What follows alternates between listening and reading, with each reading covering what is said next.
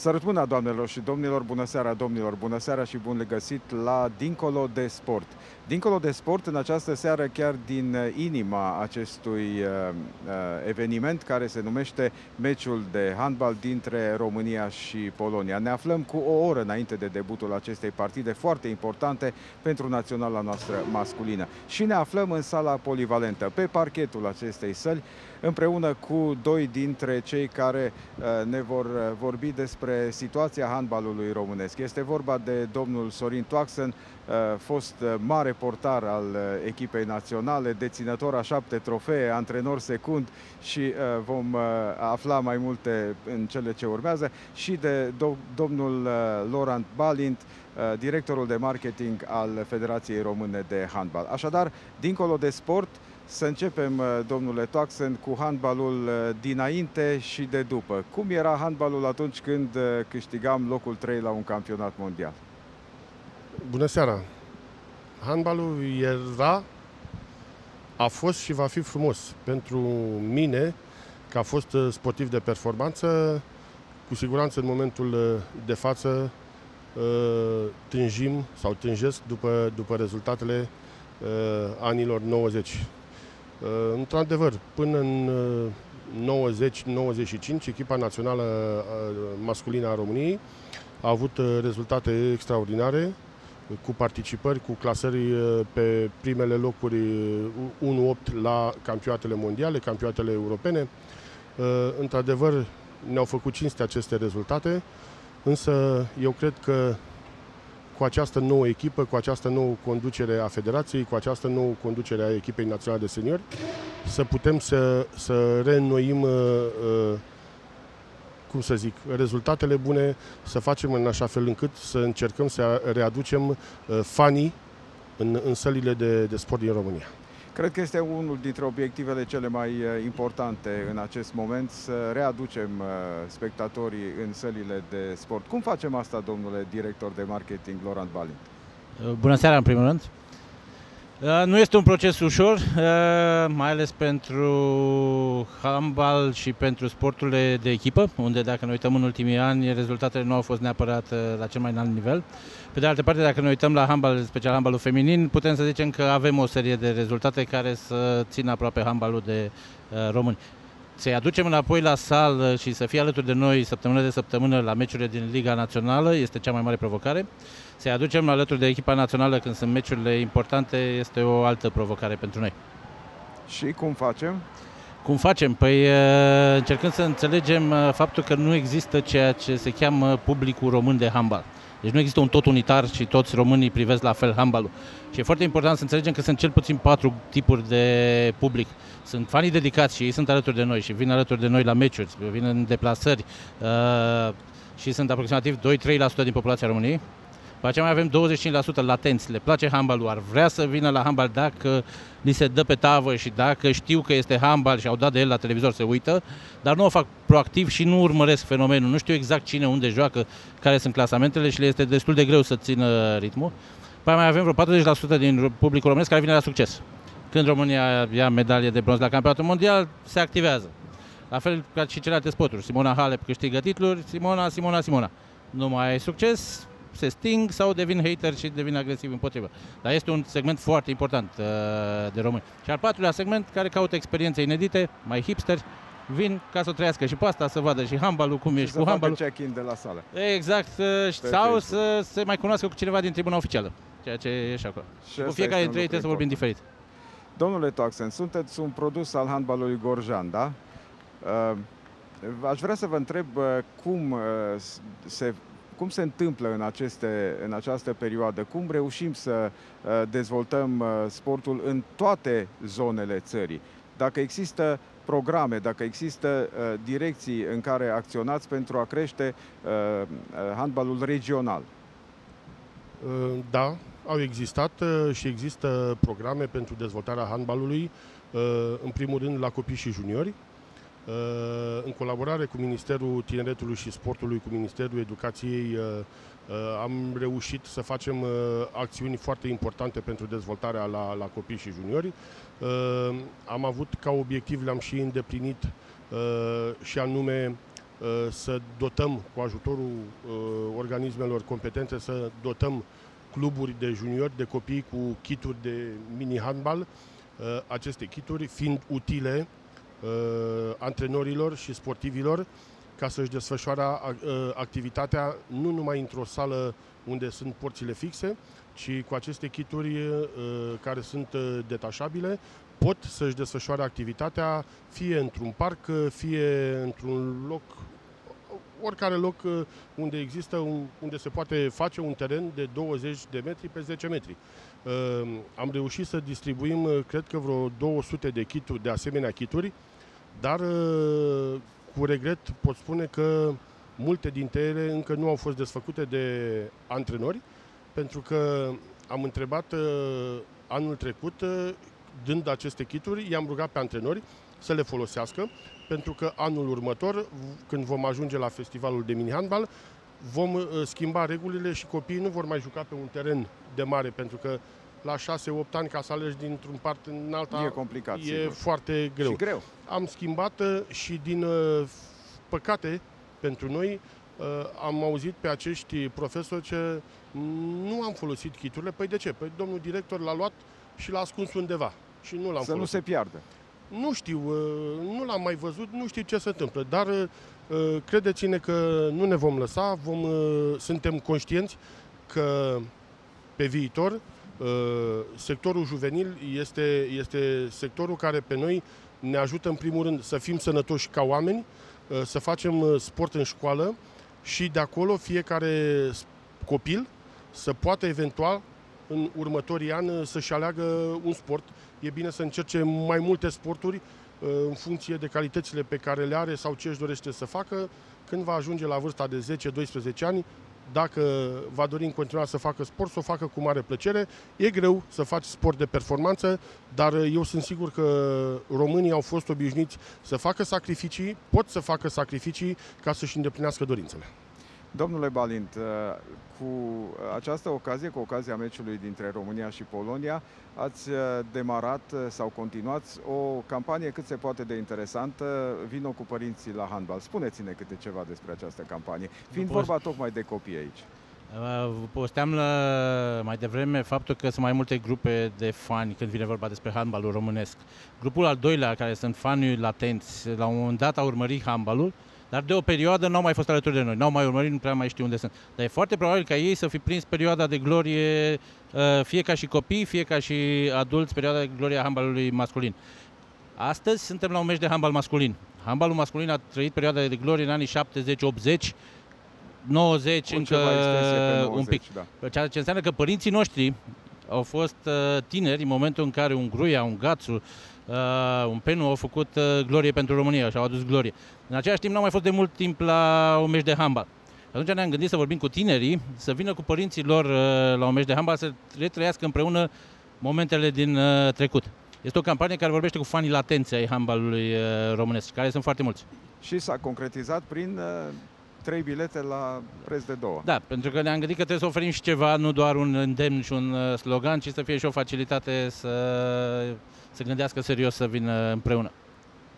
Domnule Toaxen, uh, am vorbit despre copii, haideți să povestim puțin despre situația handbalului intern în acest uh, moment. La ce nivel credeți că se situează el și, evident, ce ar trebui să facem pentru, a pentru a, a crește acest nivel? Uh, într-adevăr, România, în momentul de față, la nivel european și mondial, este undeva în grupa a doua valorică. Uh, începând cu uh, acest an 2016-2017, uh, conducerea Federației Române de Handbal a decis să facem schimbări majore atât la nivel de conducere a echipei naționale, cât și la nivel de pregătire, de concepție, de strategie, tot felul de, de probleme. Uh, noul antrenor, Xavi Pascual, care nu cred că mai are nevoie de... Să e zic, suficient să spunem că antrenează și Barcelona. Antrenează la, la Barcelona, șapte câștigători al șapte ligi uh, ale campionilor uh, și așa mai departe. Uh, pot să vă spun că uh, noi, Federația Română de Handbal împreună cu staful echipei naționale și cu jucătorii componența echipei naționale ne dorim, muncim. De o săptămână am văzut schimbări majore la nivel de mentalitate, la nivel de pregătire. Jucătorii se responsabilizează, jucătorii au răspuns la provocarea pe care Ceavi Pascual uh, a făcut-o. Uh, aceasta s-a concretizat uh, printr-o victorie, zic eu, surprinzătoare în Belarus, Belarus. Dar care ne dă dreptul să sperăm și să gândim pozitiv pentru faptul că am putea să ne calificăm la un turneu final al campionatului european. Cu siguranță, în meciul din această seară, Polonia este favorită. Polonia este Polonia, uh, medalie de bronz la campionatul mondial, uh, locul 4 la Olimpiadă, uh, dar credeți-mă că Ceavi Pascual a zis un singur lucru. Eu am încredere în voi. Dacă nu aveam încredere în voi, nu veneam în România. Eu sunt obișnuit să fac performanță, deci am venit aici să facem performanță. Credeți-mă că drumul este anevoios, dar sunt sigur că dacă uh, vom uh, uh, răspunde provocărilor care ne sunt date, cred că vom putea să, să revenim în prima grupă valorică. Domnule Balint, spuneați la un moment dat că, și aici vreau să citez, visul nostru este ca fiecare român să fie mândru de handbalul românesc. Detaliați, vă rog. Aici cred că cel mai bine o să exemplific o poveste personală. În urmă cu trei ani eram acasă și mă uitam la televizor la un meci. În momentul în care vine băiatul meu, Ștefan, vârstă de 8 ani la momentul respectiv, și mă întreabă ce faci, mă uit la un meci, cine joacă România. A, nu mă uit că pierdem. A fost un moment șocant și m-a lovit pe loc, deci, dar după câteva zile am conștientizat și mai puternic faptul că ce se întâmplă astăzi este că noi creștem o generație care în momentul în care se gândește la România și la sport este România pierde. Ceea ce nu e neapărat uh, adevărat, adică dacă ne uităm în jur, sunt câteva sporturi unde noi facem performanțe și unde suntem uh, de la egal la egal cu oricine din lume. Și practic ceea ce ne-am dorit noi este ca românii să se uite la handbal, să conștientizeze că într-adevăr suntem egali oricărui din lume la handbal feminin astăzi, la handbalul masculin mâine. Uh, am fost, suntem și vrem să fim în uh, vârf. Este unul dintre domeniile din România în care, din oricare colț a României, din Constanța până la Baia Mare, oprindu-le în Carei, în Râșnov, dacă vorbești cu oamenii, zic, handbalul trebuie să fie egalul oricăruia din lume. Trebuie să fim sus, trebuie să ne bătem la medalii, trebuie să fim campion mondial. Cunoaștem istoria, măcar atât. Este istoria, este o moștenire, dar este și un prezent astăzi. Dacă ne uităm, avem rezultate, avem continuitate, avem o penetrare fantastică la nivel național. Avem foarte mulți profesori de handbal, avem foarte mulți copii care joacă handbal. Dacă vom reuși să strângem rândurile și să potențăm ceea ce avem astăzi, Uh, vom fi sus uh, acolo. Dar asta este în primul rând, este să îi facem pe români să conștientizeze ceea ce înseamnă handbalul România și să ridicăm handbalul la un nivel care să ne păstreze acolo sus în, uh, în top. Domnule Toaxen, aș vrea să rămânem încă puțin la nivelul sloganurilor. Handbalul sport național. Campanie, cel, obiectiv? Da. Uh, handbalul sport național a fost, în, cum a zis și colegul meu, în anii 70-80, sportul național. Pentru că patru titluri de campion mondial uh, nu le câștigă oricine și oricând. Șapte cu fetele. Șapte cu fetele, patru titluri la băieți. Uh, tocmai de aceea eu cred că pentru România șapte titluri de campion mondial la orice sport de echipă este imposibil în momentul de față. Uh, dar este istorie. Nu putem să trăim, nu putem să ne hrănim din istorie. Da? Uh, trebuie uh, să continuăm și să facem să fie bine ceea ce au făcut ceilalți. Trebuie să îi respectăm pentru că ei au muncit pentru România. Uh, noi trebuie să continuăm uh, marșul pe care l-au început ei. Și uh, în acest sens, uh, pentru următorii patru ani, obiectivul Federației Române de Handbal pentru echipa națională de seniori este, bineînțeles, uh, clasarea pe locurile 1-2 în această grupă a doua pentru preliminarele campionatului european din Croația 2018, după care uh, urmează un obiectiv, uh, a zice eu, prioritar pentru calificarea la Olimpiadă și anume participarea la campionatul mondial din 2019 și clasarea în primele 10 echipe de la campionatul mondial pentru a putea participa în grupele de calificare în vederea participării la Jocurile Olimpice din 2020. Timpul uh, uh, pare să fie scurt, 4, 4 ani de zile uh, pare să fie scurt, uh, dar credeți-mă că va fi mult de muncă, uh, băieții nu se vor da la o parte, noi, Federația Română de Handbal, vom încerca să punem la dispoziție uh, tot ce știm noi, tot ce putem, să ajutăm ca să revenim după uh, ultima participare a echipei uh, masculine la Olimpiadă din 1992 de la Barcelona. Deci nu vreau să mai număr anii și să spun uh, câți au fost, dar uh, ne dorim din tot sufletul ca cele trei obiective uh, uh, stabilite cu Ceavi Pascual să se îndeplinească până în 2020 atunci. Așa să fie, să sperăm, da, vă rog. Aș vrea să adaug și aici un pic, uh, pentru că dacă ne uităm din care au trecut, handbalul sport național era o sintagmă des utilizată în lumea handbalului.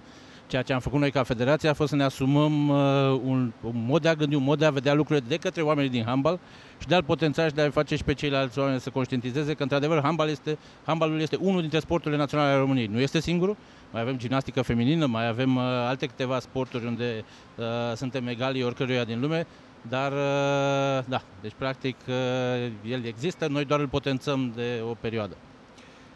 Urmează, după această campanie a băieților. Urmează aici la Cluj-Napoca un trofeu, trofeul Carpați, celebrul trofeu Carpați, pe care îl organizați de asemenea și care va fi de asemenea transmis de către TVR.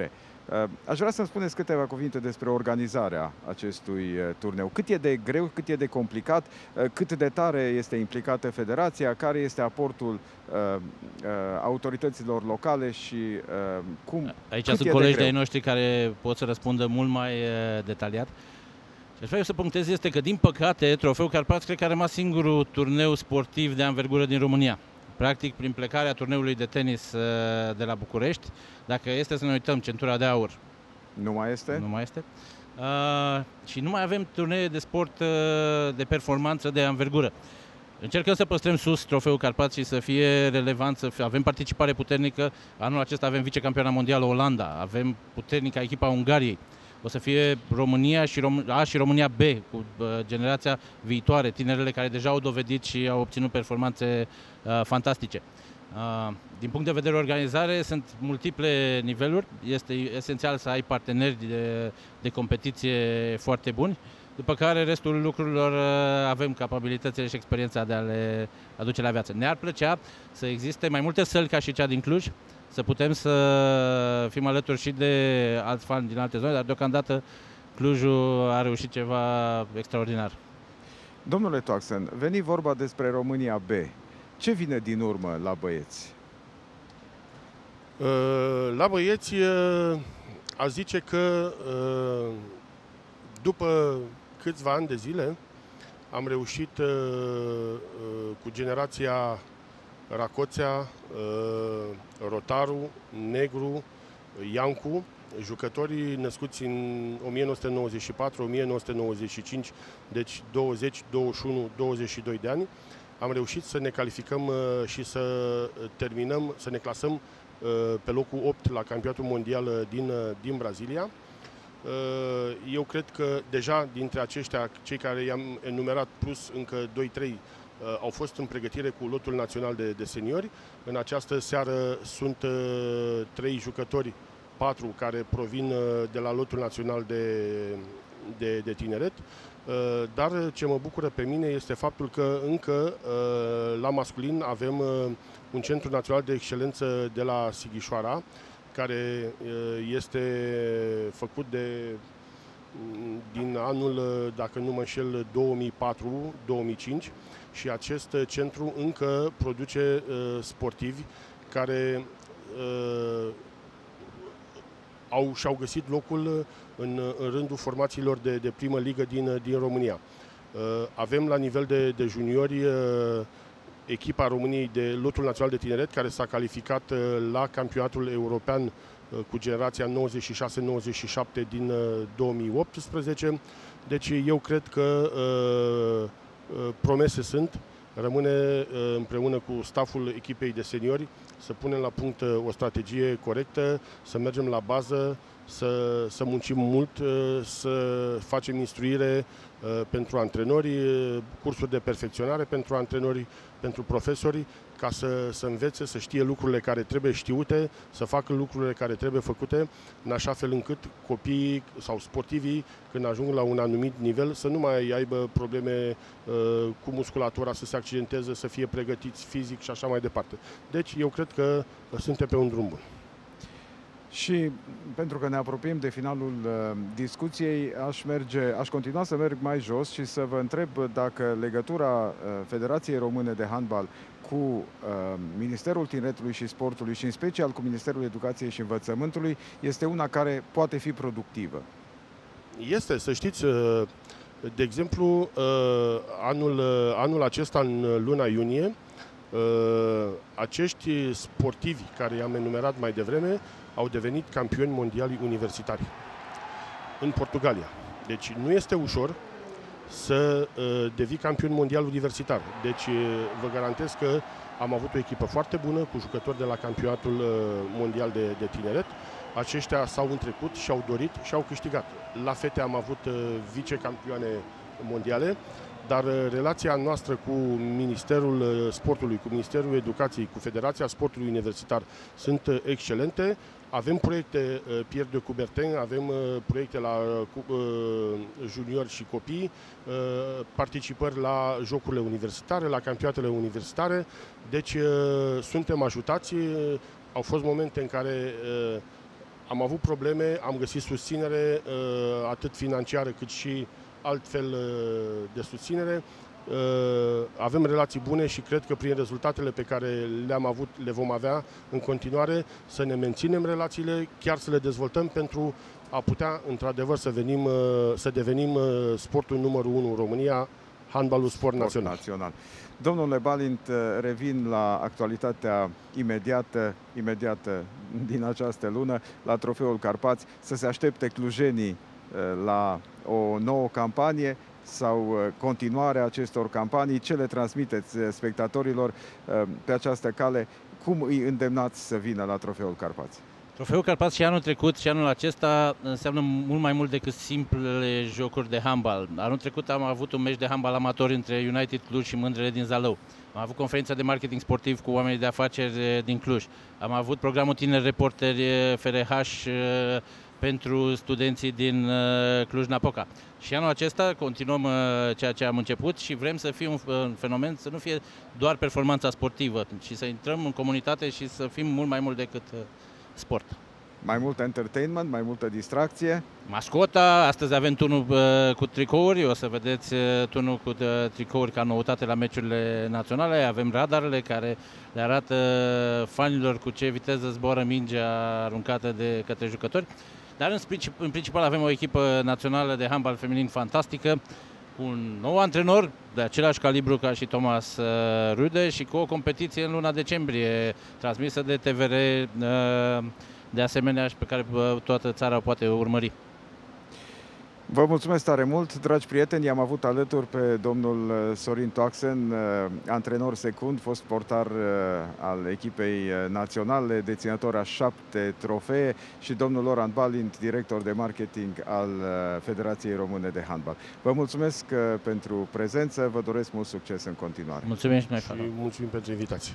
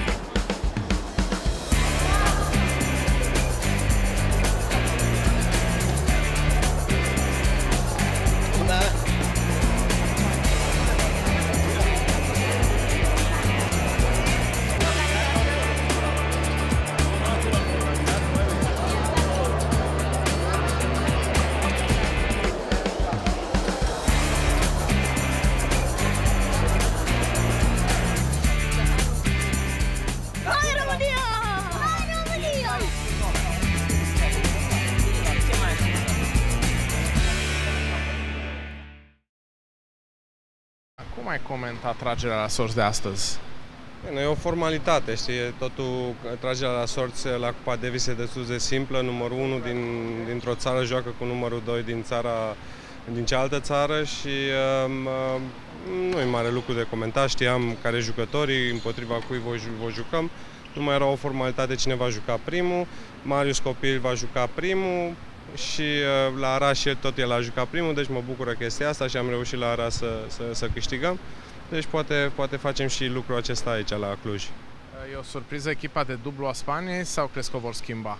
Nu, asta bă, se poate schimba până cu o oră înainte de, de, de meci. PSN, PSN, echipa lor cea mai bună e Lopez Lopez și PSN că o să o, să, o, să o schimbe.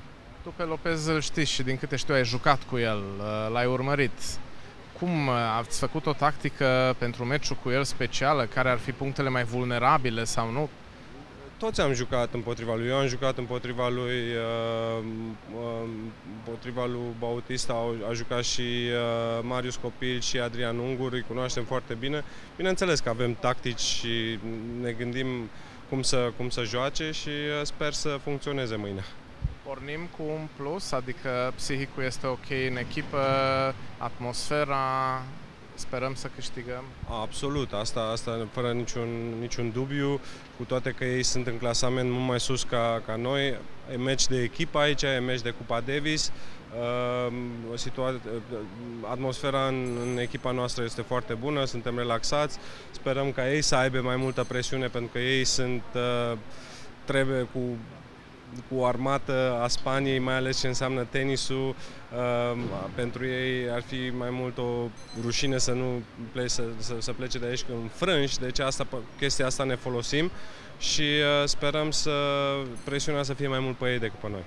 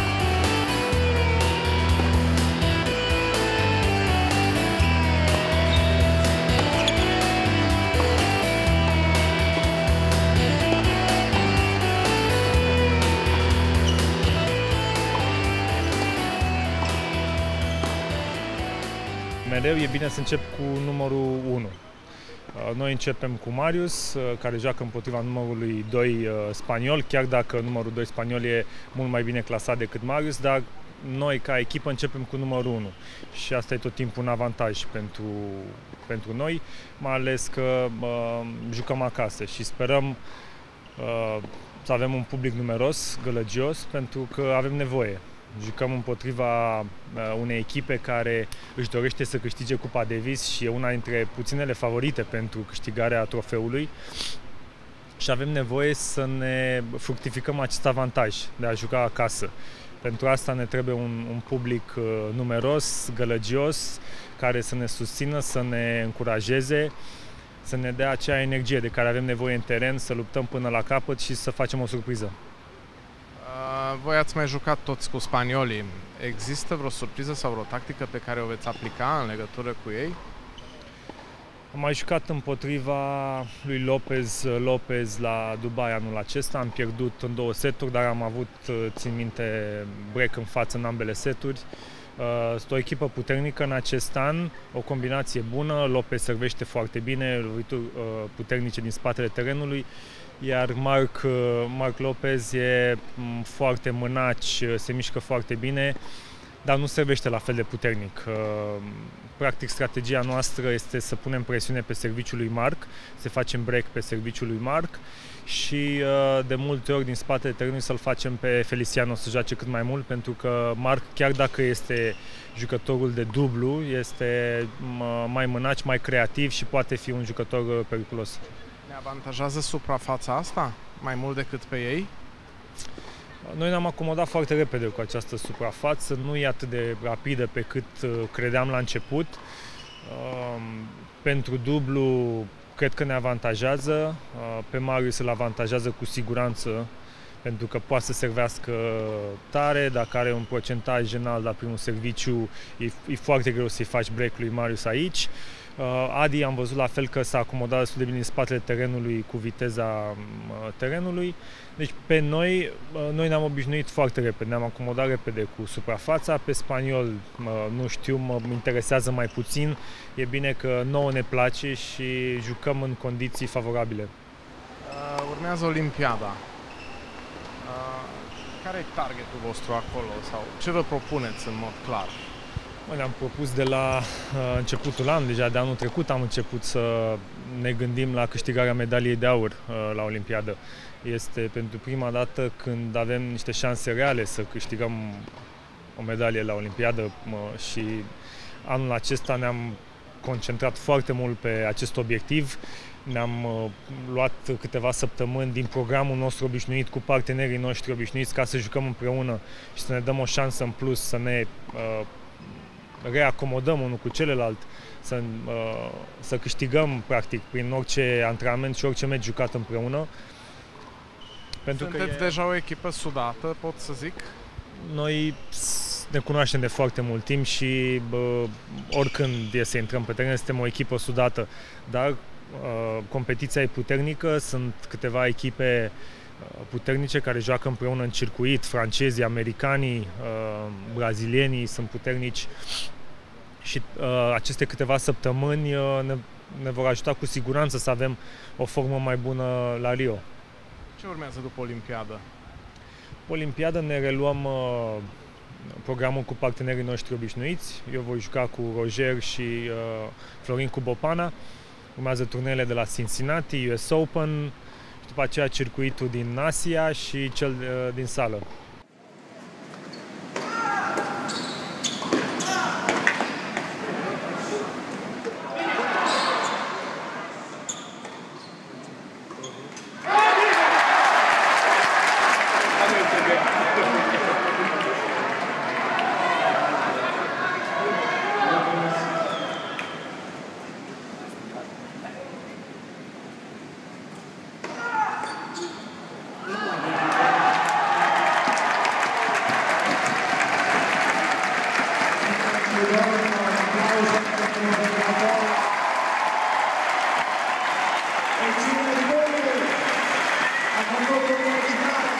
Marius, ai făcut un meci foarte bun astăzi, ai servit foarte bine, totuși ce crezi că ți-a lipsit să câștigi? Cred că puțină experiență, că am avut șanse multe și primul set l-am pierdut aiurea, setul 2 uh, l-am câștigat, a fost unul la seturi, după aceea setul 3, 2-0, 4-0 pe serviciul meu și m-am, uh, nu știu, cred că m-am deconcentrat puțin puteam să fac 2-1 la seturi de acolo și după aia setul 4 am luat, deci putea să fie 3-1 pentru mine, dar uh, per total sunt foarte mulțumit de cum am jucat. În 3 ore jumate am avut poate câteva minute de, de, de concentrare. La 4-3 pentru el am avut un voleu ușor care, na, uh, dacă nu-l greșeam, era 35 și nu se știa. Dar sunt și om, mai, mai greșesc din când în când. Am jucat multe puncte, multe au fost pentru mine, poate acum unele importante poate de partea lui, dar uh, per total, cum am spus, sunt mulțumit de cum am jucat și uh, sunt trist că nu, nu am putut să aduc primul punct României. Bueno, creo que hoy ha sido un partido muy difícil, muy duro. Creo que Marius ha jugado a un nivel muy alto y la verdad es que el partido ha sido como esperaba, un partido muy complicado. A fost o partidă foarte dificilă, așa cum s-a așteptat, Marius a jucat foarte bine și meciul a fost de asemenea foarte dificil. Creo que eh, ha llegado un momento en el quinto set que podía haber ganado cualquiera. Crede că a fost un moment în setul 5 în care ar fi putut câștiga oricare dintre ei. Y, y bueno, he sabido aguantar, esperar hasta, hasta el momento de, del final del quinto, donde he tenido eh, un acierto mío y, y un par de fallos de él y un poquito de suerte y he podido romper su saque, pero la verdad es que me lo estaba poniendo muy difícil. A știut să aștepte până în ultima parte a setului decisiv. Acolo a avut uh, câteva lovituri câștigătoare ale lui, câteva greșeli ale lui uh, Marius și a avut răbdare ca să câștige și să încheie acest meci. Y sobre el partido de, de mañana, yo ahora lo que lo más importante es recuperarme bien. Estoy cansado porque ha sido un partido muy duro, pero creo creo que mañana estaré, espero estar en condiciones de poder jugar. A avut o partidă foarte grea astăzi, până mâine sper să se recupereze cât mai bine, pentru că a avut o, ca să fie în cea mai bună formă să joace mâine.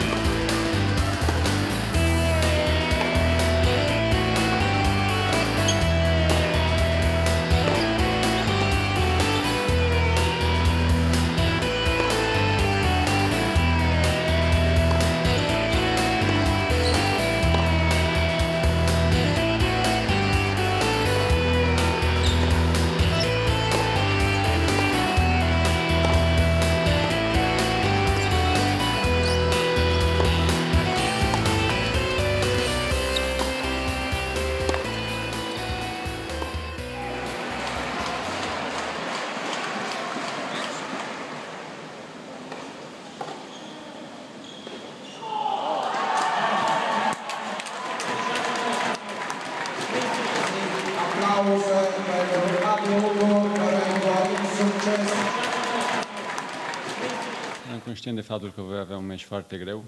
Jo- Am jucat împotriva unui jucător foarte, foarte solid. Nu degeaba se află în primii 15 jucători ai lumii. Am încercat să fac tot ce am putut astăzi, nu, nu am reușit. Îmi pare rău pentru acest lucru, dar păcate ăsta e, ăsta e tenisul. A câștigat cel mai bun în cele. Până la urmă, suprafața de joc a avut un cuvânt de spus sau a fost unul Da, din, este- și un e- adversar pentru tine? Și acest lucru se pot spune. Nu este suprafața mea preferată, dar nu pot să iau, nu e o scuză acest lucru. Atmosfera din sală, cum ți s-a părut? O atmosferă, atmosferă superbă, demnă de, de un meci de Cupa Davis și țin să le mulțumesc pe această cale clujenilor pentru susținerea făcută. Sper să susțină și mâine în număr și mai mare, dacă se poate, meciul de dublu, care este decisiv pentru noi. Bueno, siempre es eh, importante y muy positivo irte el primer día, irte a dormir con 2-0 arriba, ¿no? Pero bueno, eh, siempre hay que mantener pues eh, un poquito, bueno, tienes que estar muy concentrado porque falta un punto. Mañana va a ser un, un día difícil, eh, Rumanía tiene un doble difícil. E bine, sunt liniștiți că pot să doarmă cu un 2-0, dar știu că mâine vor avea un meci greu pentru că România are un dublu bun. y hay que estar eh, totalmente concentrados y motivados para, para sacar ese punto, si es posible mañana, pero mm, mantener muchísimo la concentración. Uh, Vor să fie foarte concentrați ca să reușească să câștige punctul de mâine care le lipsește pentru a câștiga această partidă.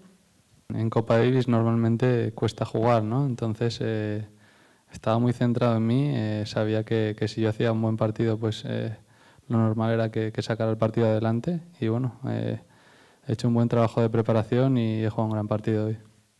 Știe că în Cupa Davis se joacă cu, mu- cu multă inimă și că s-a antrenat foarte bine și s-a, pentru acest meci și de asta a ieșit.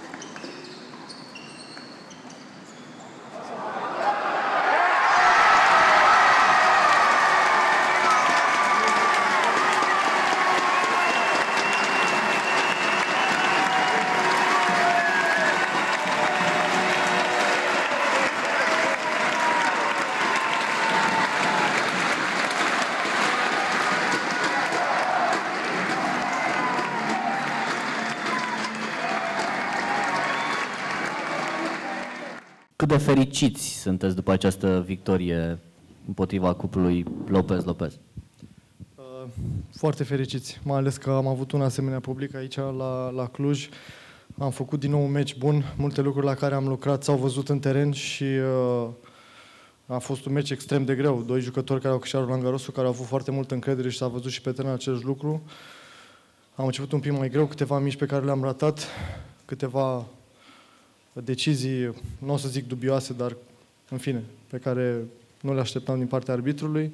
Important e că ne-am revenit, am crezut în, uh, în potențialul nostru, că asta este cel mai important. Am avut încredere unul în altul și uh, am adus această victorie incredibilă și normal că suntem fericiți. Ne așteptam să avem un meci greu astăzi. Lopez Lopez au jucat bine tot anul, au câștigat un turneu de Grand Slam, uh, mai multe meciuri câștigate anul acesta decât noi.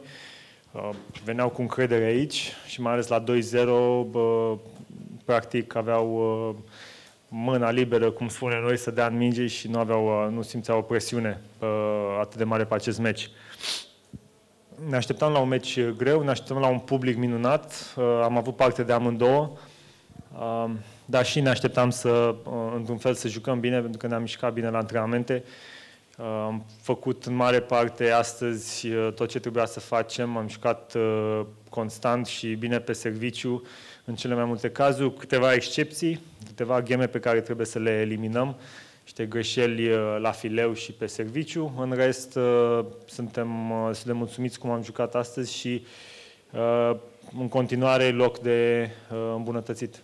Este clar că a fost un test bun pentru noi, așa cum am zis și acum câteva zile, sunt multe lucruri la care lucrăm, la care am lucrat și la București și la, la Stuttgart și care se văd în joc.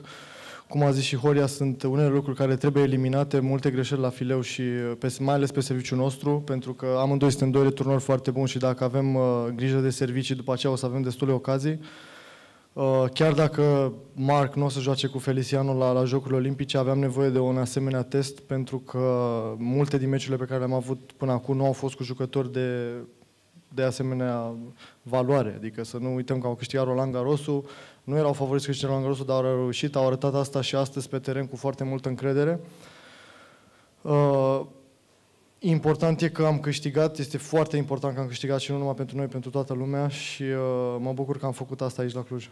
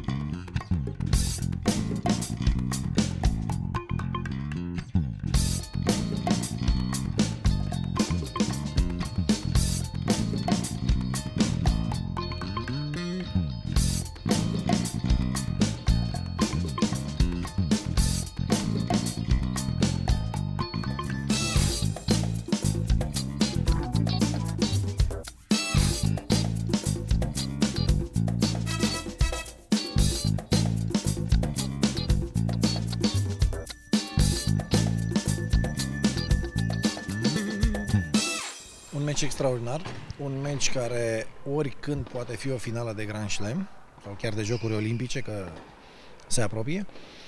Un meci în care băieții noștri s-au mobilizat exemplar, un meci în care publicul a avut un aport de asemenea substanțial, un meci în care au învins o câștigătoare de Grand Slam, să nu uităm că spaniolii, de fapt echipa aceasta a Spaniei a câștigat Roland Garrosul, și așa cum anticipam, o victorie a lor noștri, o victorie muncită, o victorie care sigur ne dă speranțe, ne ține în viață, putem spune pentru mâine. Mâine când sigur vor, vom porni iarăși cu o a doua șansă ca și în prima zi. Eu cred că retururile de pe final ale băieților noștri au uh, decis soarta meciului. Să nu uităm că ei joacă mult mai mult împreună, să nu uităm că au câștigat uh, un uh, Roland Garros, dar zic eu că coeziunea celor doi, aportul publicului și, normal, dorința de victorie au făcut ca noi și să au calități deosebite, pot câștiga orice competiție, sunt convins că vor obține o medalie și la Jocurile Olimpice și cred că sunt doi dintre cei mai buni sportivi pe care are România astăzi. Ați amintit de Jocurile Olimpice. Este următoarea provocare a Federației Mare. Cum uh, porniți la drum? Avem confirmarea tuturor jucătorilor, jucătoarelor?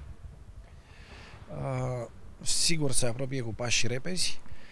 Cred că cei doi au arătat astăzi un joc de o bună factură tehnico-tactică.